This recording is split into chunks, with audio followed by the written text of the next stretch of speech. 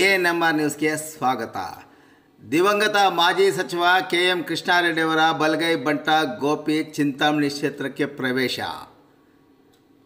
ಇಲ್ಲಿನ ವಿಧಾನಸಭಾ ಕ್ಷೇತ್ರಕ್ಕೆ ಮತ್ತೊಬ್ಬ ಸಮಾಜ ಸೇವಕರು ಆಗಮಿಸುತ್ತಿದ್ದು, ಮುಂದಿನ ವಾರದಲ್ಲಿ ತಾಲೂಕಿನ ಮುಂಗಾನಹಳ್ಳಿ ಹೋಬಳಿಯಲ್ಲಿ ತಮ್ಮ ಸೇವೆಯನ್ನು ಪ್ರಾರಂಭಿಸಲು ಸಿದ್ಧತೆ ನಡೆಸಿದ್ದು ಇಂದು ಮೊದಲ ಸಭೆಯನ್ನು ಸಹ ನಡೆಸಿದ್ದಾರೆ.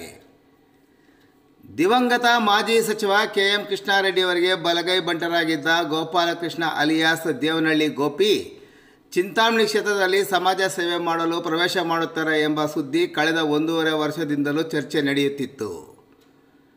ದಿವಂಗತ ಮಾಜಿ ಸಚಿವ ಕೆ ಎಂ ಕೃಷ್ಣಾರೆಡ್ಡಿಯವರ ಟ್ರಸ್ಟ್, ಅವರ ಹೆಸರಿನಲ್ಲಿ ಟ್ರಸ್ಟ್ ಸ್ಥಾಪನೆ ಮಾಡುವ ಮೂಲಕ ಸಮಾಜ ಸೇವೆ ಮಾಡಲು ನಿಶ್ಚಯಿಸಿದ್ದು ಕೆ ಎಂ ಕೃಷ್ಣಾರೆಡ್ಡಿ ಅವರ ಪುತ್ರಿ ವಾಣಿ ಕೃಷ್ಣಾರೆಡ್ಡಿ ಅವರ ಜೊತೆ ಮತ್ತೊಮ್ಮೆ ಚರ್ಚೆ ನಡೆಸಿ ಮುಂದಿನ ವಾರದಲ್ಲಿ ತಾಲೂಕಿನ ಮುಂಗಾನಹಳ್ಳಿ ಹೋಬಳಿಯಿಂದ ಸಮಾಜ ಸೇವೆ ಮಾಡಲು ಪ್ರಾರಂಭಿಸಲು ಚಿಂತನೆ ನಡೆಸಿದ್ದಾರೆ ಎನ್ನಲಾಗಿದೆ.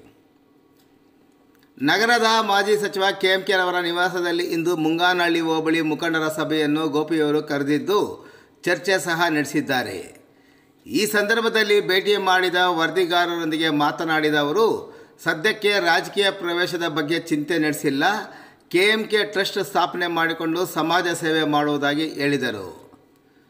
ಗೋಪಿಯವರ ಪತ್ನಿ ರೇಖಾ ಗೋಪಿನಾಥ್ರವರು ಹಾಲಿ ಬೆಂಗಳೂರು ಗ್ರಾಮಾಂತರ ಜಿಲ್ಲೆಯ ದೇವನಹಳ್ಳಿಯ ಪುರಸಭೆಯ ಅಧ್ಯಕ್ಷರಾಗಿದ್ದು, ಅವರು ಕಾಂಗ್ರೆಸ್ ಪಕ್ಷದಲ್ಲಿ ಗುರುತಿಸಿಕೊಂಡಿರುವುದು ವಿಶೇಷ. ಗೋಪಿರವರು ಸಹ ಸಮಾಜ ಸೇವೆ ಮಾಡಿಕೊಂಡು ಮುಂದಿನ ದಿನಗಳಲ್ಲಿ ರಾಜಕೀಯ ಪ್ರವೇಶ ಮಾಡುತ್ತಾರೆ ಎಂಬುದನ್ನು ಕಾದು ನೋಡಬೇಕಾಗಿದೆ.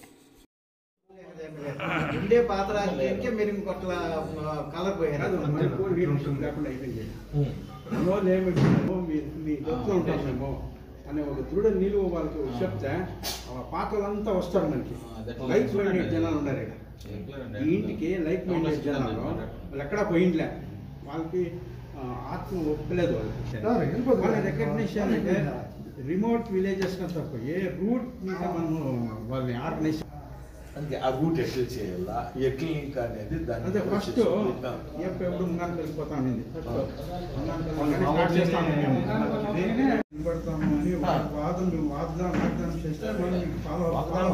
ఇక్కడే ఉండిపోతా.